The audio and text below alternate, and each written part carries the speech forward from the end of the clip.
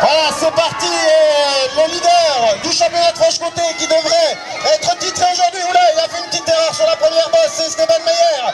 Il y a également le pilote de Vesoul, le deuxième pilote de Vesoul, Lucas Cuna qui est à l'intérieur. Et on retrouve également Antoine Adam.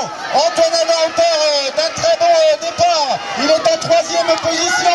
Alors qu'à la quatrième place, on va retrouver un pilote qui porte les couleurs de Paris Tavon. Il me semble que c'est Loïc. Alors qu'il y a une chute là-bas dans le virage. En tête toujours Esteban Meyer devant Lucas Cunin. Le retour peut-être de Lucas Cunin.